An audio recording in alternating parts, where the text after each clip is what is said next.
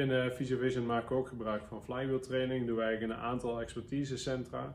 Voornaamst is het schouder-armcentrum en aan de andere kant het enkelvoet- en kniecentrum.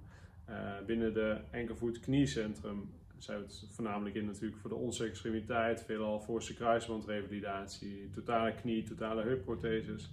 En een grote groep uh, die er heel graag mee traint zijn de hardlopers. Dus uh, voor ons de grootste groep is dan Achillespees-teniopathieën.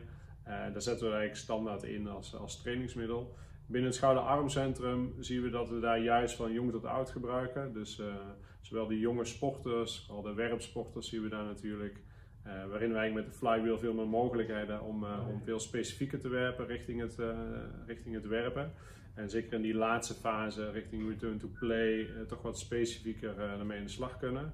maar ook de oudere generatie, voor onze schouderprotheses, vaak 70, 80 plus nog, die dus heel prettig een middel ervaart. En we zien eigenlijk dat de flywheel pulley eigenlijk ja, vervangen is door de, voor de ouderwetse poelie. Dus we maken er eigenlijk geen gebruik meer van.